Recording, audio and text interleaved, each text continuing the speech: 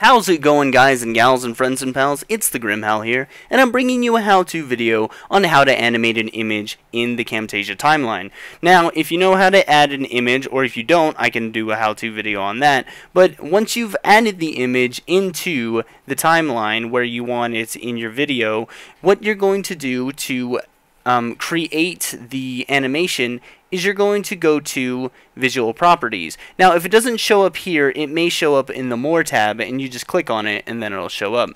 Now from the visual properties, this allows you to change a lot of things. The x-axis, the y-axis. Uh, this is rotation, obviously, so you can rotate it, you know, one way or another. So this is going to be how you create the animation. First, what you'll do is you'll go to Add Animation. Now, once you've added the animation, as you can see, you'll see this little half circle show up on the image in the timeline.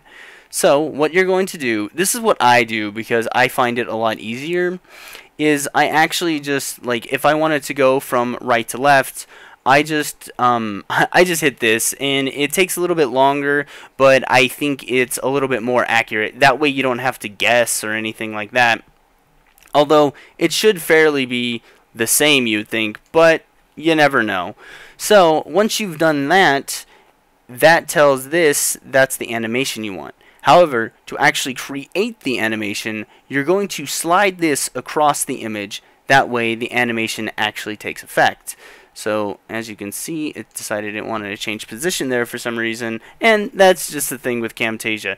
It's a great software, it's pretty easy to use, but there are some things that are complicated about it. Like, for instance, you can't record gameplay in full screen. I mean, there's technically a way. I found a way to do it, but that's because I have dual monitors. And that's, I guess, cheating? I don't know. Either way, it lets it work.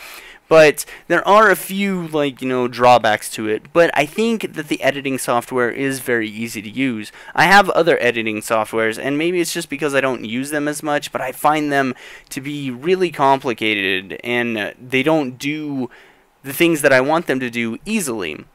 Now, the reason I'm posting this video is because my friend was saying, you know, I wish that I could animate animations, you know, into my videos um, but I don't know how, and I don't know if Camtasia has the capability. Well, it does have the capability, and I've looked up videos like, you know, how to animate an image, you know, in Camtasia, and it didn't really bring up as much as I was hoping. So I decided to put this video out there for those of you who do use Camtasia, and, you know, just I think it'd be pretty informative. That way people don't have to guess and get frustrated or try to like copy and paste, you know, uh, an image, you know, over and over again in different positions because that would take forever. So you can create the animation.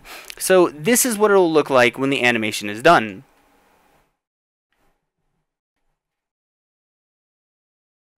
That it's as simple as that. Now, if you want it to go by faster, which you may want because, you know, you don't want it to take like a whole like what is this like 15 20 seconds? 5 seconds which really isn't that long but if you want it to go by kind of like faster what you can do is is you can actually edit the clip speed of the image because the image doesn't have any audio associated with it. So you can put it up to a thousand percent if you want to. So that'll make the image go by like that. Very quick, very fast. And so that's pretty much it. You know, um, I actually didn't know how to do this. I sort of figured it out. I had remembered something about it, but I couldn't remember exactly. So if this video does help you, make sure to leave a like, leave a comment down below if you want maybe a different how-to video. You can check out some of the videos that I have on my channel. They're mostly gameplay videos, but, you know, you might like them, you might not. Hey, I ain't gonna force you or nothing. So, you know, leave a like, leave a comment. If you're new to the channel, go ahead and subscribe. And until next time.